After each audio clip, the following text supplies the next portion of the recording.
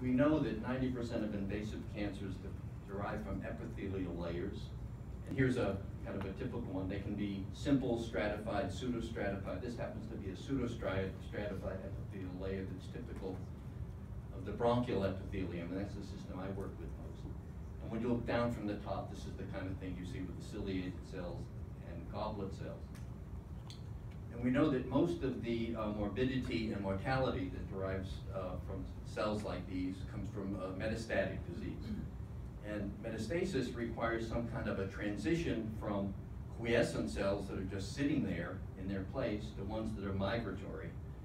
And the thinking had been over the years that the initiating event for that migration was the epithelial to, uh, to mesenchymal transition or a partial EMT.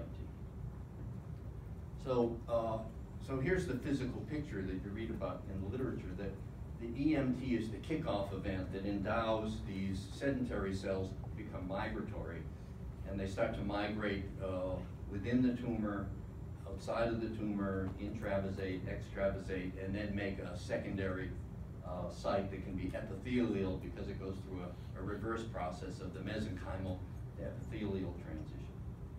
But the important thing is that the kickoff event is the is the EMT, and and that's why I think in part it's it's interesting, but it's also important because it's a juicy, juicy target for primary prevention. If you can understand it better, and if you could prevent uh, the EMT, you'd still have cancer, but you wouldn't have metastatic disease. So uh, the interesting thing about this is in the last year, this this physical picture has taken a couple of hits. Uh, and these weren't published at the time we submitted our, our PSOC grant. So this one, uh, epithelial to mesenchymal transition is dispensable for metastasis. Uh, by the way, that Kalluri that's there, I don't know if you can read it, is the same one that, that did the, the, previous model. Uh, epithelial to mesenchymal transition is not required for lung metastatic disease. So, so this went against the dogma, and yet a third paper appeared showing that uh, dispersal and migration in the tumor was crucial to tumor growth and tumor spreading. So uh, it led to a, a, different kind of a model, which is this one, is that you can have a mixture of epithelia and mesenchymal cells. It's not to say EMT isn't important, it is important, but you can get epithelial cells that somehow can migrate, become migratory, uh, transit through the blood, and colonize secondary sites, and all the time remaining epithelial, never going through so uh, metastatic disease does indeed require some kind of a transition from uh, being quiescent to migratory, but the EMT is not an obligatory step in that process. So if the EMT or the partial EMT is not the only way you can do it, uh, what other kind of transit, what, what else is there? So that's the kind of the question, the question we're interested in. And whatever kind it is, you can retain an epithelial phenotype all the way through. That's what those, those studies show, using very sophisticated lineage tracking approaches. So this is where our data come into the picture. These are human bronchial epithelial cells, primary cells in air liquid interface culture. They come from normal donors and asthmatic donors. We were interested in these for totally reasons unrelated to cancer. And what we found uh, first was what everyone thought was true, which is in the normal, let's see, is that going run? There it is. In cells from the normal individuals, they pretty much sit there. They jiggle a bit, uh, but they don't really move much at all. They pretty much sit in their places as you would expect. But when we looked at cells from asthmatic donors, there it goes, we got a very different kind of phenotype. And actually one, we were, we were looking for this, we thought it would happen for reasons I won't describe. And it's a very different kind of motion, a lot more motion, but a different kind. The cellular motions uh, differences not only in amount, but I'm going to show you the differences, differences in kind of motion. And to illustrate these differences, I'm going to use this uh, theoretical model that was developed by Max Bi. and Lisa Manning, who were then both at, at Syracuse. Max has moved on, um, because it captures these. So on the left is a, I'll, I'll explain to you in a bit what this model is. So this represents the uh, cells from normal individuals, and you can see they're, they're jiggling kind of wiggling, they're jiggling, and it's as if they're, they're trapped by their neighbors, and it's a solid-like configuration. They kind of move, but then they snap back to their original position. So th this is what's called jamming. These cells are jammed, they're trapped by their neighbors, and they're trapped because there's an energy barrier that they can't get over that holds them in their place. Now, on the other hand, in the cells from the asthmatics, it turns out, for reasons I'm going to show you, there is no energy barrier. It's, it's zero, at least in the model, in the theory, it's zero. So they become uncaged by their neighbors, they become fluid-like, and they're unjammed. And you can, they can, pos they can possibly explore all possible configurations, like, like fluid. So the key part of the theory, it's called, a, it's called the vertex model, is this. If you think about the, the force balances at a cell-cell junction, there are two crucial kinds of forces. There are tensile forces, uh, cortical tension may be driven by actomyosin, which are making that junction shorter. The minimum energy configuration is that it would be short. On the other hand, we know there are adhesion molecules. There's all kinds of adhesion molecules. And they're tending to make those surfaces adhere, and the minimum energy configuration for those is that you lengthen the surface, right? If you've ever played with tape, it's easy to put it down, it's hard to pull it up. So these two forces at the cell-cell junction are in competition with one another. And if the tension dominates the adhesion, the way I've shown it here with these arrows, it turns out there's a finite energy barrier that holds the cells in their place. However, in the converse, over here on the right, if the adhesive forces dominate the tensile forces, it turns out the theory shows that the energy barrier actually goes to zero. So there's nothing to hold the cells in their place anymore. And you get an unjammed situation. And please notice, this is totally counterintuitive. It was counter to our intuition. It says when the cells get stickier, they move more relative to the neighbors. Exactly the opposite of what you, you might think. So and a very interesting part of the theory, and the one that actually caught our attention, is that this transition from jamming to unjamming happens when the cells take on a particular shape. And, and we use the perimeter as one of the is one of the metrics of the shape. So you can take the perimeter divided by the root of cell area, and there's a number that comes out. A magic number. It's kind of like pi, but it's not pi. 3.813.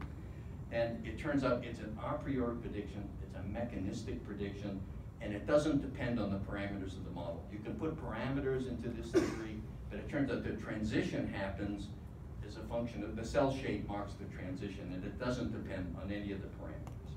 So actually, Lisa Manning challenged us. Here's this theory, you've got the data, why don't you test it? So we did. Oh, by the way, this is, this is an artist rendition that was published recently of what this would look like in, let's say, a tumor, with cells on the left are jammed, cells on the right are unjammed. So on the left, they're stuck, there's no mixing, it's solid-like and it springs back. And on the right, the cells can explore all possible configurations. So here are our data in human bronchial epithelial cells. Now, on the y-axis is this shape parameter, perimeter divided by square root of area, and down here in the lower left, that's the jamming threshold, 3.813.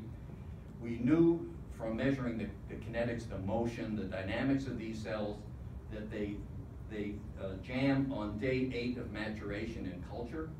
So on day eight they jam, and when we measured the shape index, lo and behold, it came right down to the predicted value, just as Lisa Manning and Max Bi had predicted. We knew that in asthmatic cells, they don't really jam, they tend towards jamming and they get almost there by day 14, and we measured the shape index. The shape index gets almost there also by day 14. So we were impressed by this, uh, this was an a priori prediction. There's, there is no curve fitting. There's no curve fitting going on here. So when we looked at this, we were really pleased and we published it, but we were scratching our heads about the variability?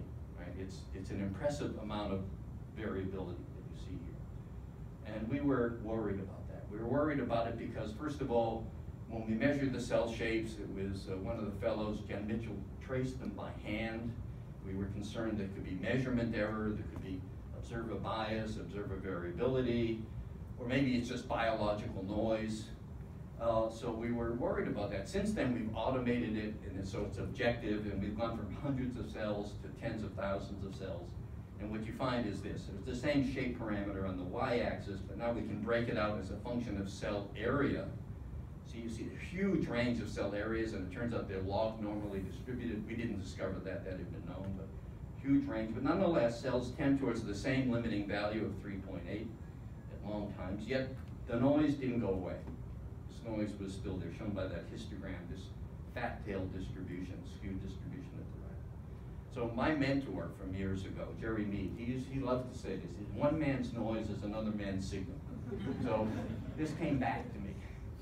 Uh, could it be that this variability is actually a signature of the jamming transition?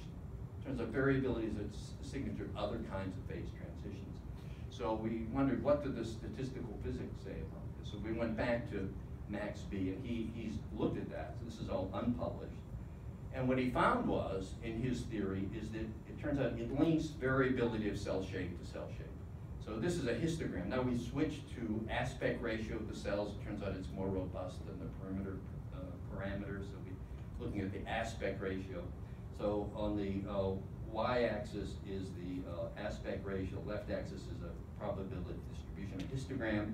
And as you see, as you move from jammed here in the warmer colors, excuse me, unjammed to jam, the distribution gets uh, narrower and the mean shifts to the left. And it turns out they go together to limiting values. So when you look at the first and second moments of those distributions, you get a prediction. So the mean aspect ratios on the y x-axis, standard deviation, second moment on the x-axis, and you get this prediction that you go from uh, unjam to jam, and there's a limiting value here. And interestingly, the theory sets the values of the slope and the intercept. It gives you absolute numbers for these slopes. So it's not just saying that they're proportional. And again, it turns out there's no adjustable parameters in the problem. So this turned out to be, we wondered, could this be right? Right? And, uh, it, but it's quantitative and testable. So we were able to go back to our data that we had already collected and plot them on top of this relationship. And lo and behold, they fell pretty darn close. What we see here, uh, the, in the black are the healthy subjects, numerous subjects, and they were kind of more towards the lower left, closer to jamming, and the asthmatics were kind of spread all over the place, but also to the upper right. And so what you see is they're populating different parts, but of, it's a single unifying relationship that pulls all the data together. So then, and this is now really recent, this is just week, weeks old, uh, but I thought I'd share it because it's, it's so interesting. We wondered, you know, how general is this result? So we wondered about that. So Lior Atia and Yasha Sharma, Yasha's here, went over to talk to Adam Martin at MIT. He's a developmental biologist. And they looked at the ventral furrow formation because he had lots of beautiful movies that we then segmented. So here's, is that gonna run? It is running. So for those of you who haven't seen, this is this is a bug, Drosophila. And there's the ventral furrow uh, forming. So we, we quantified, we segmented these, and here's what we found, showing them on the same axis. This is five different embryos.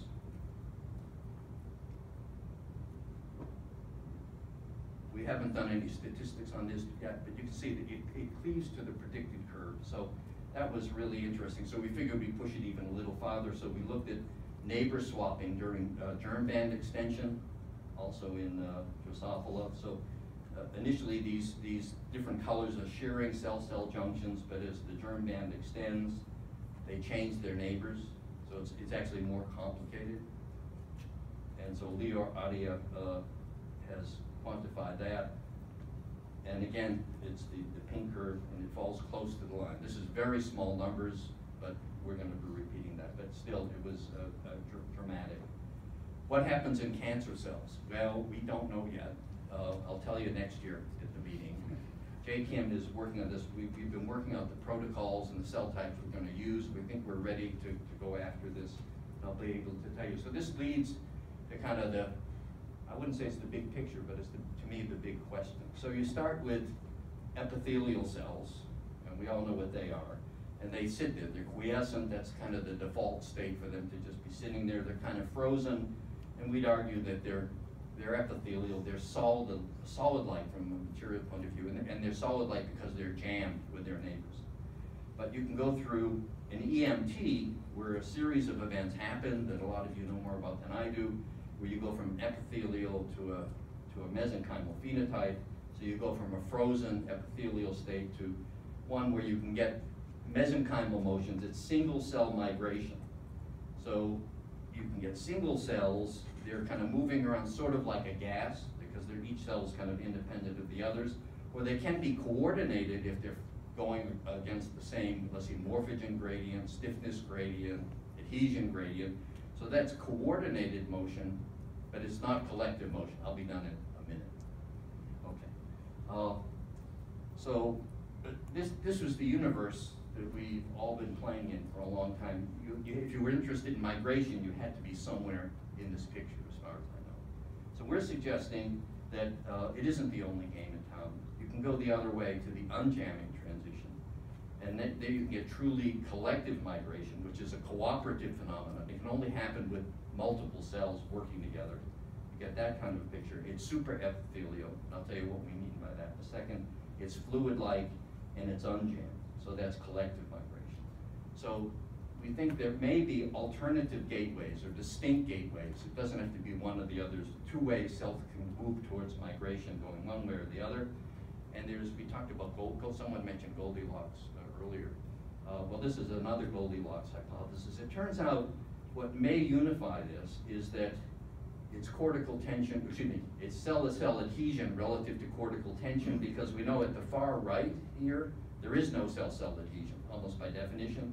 And at the left, because we've measured it, we know the intracellular forces are the highest. So it, could be that you're seeing a gradient of the same kind of thing of relative uh, cell-cell adhesion relative to cortical tension. And the gold, me, the Goldilocks part is the fact that when cells are quiescent, when that's intermediate, they're jammed and they don't move. They can disassemble, go through an EMT, that's to the right, but they can increase the adhesion, that's the counterintuitive. Increasing adhesion makes cells wet one another and you go to the left. So I'll stop there.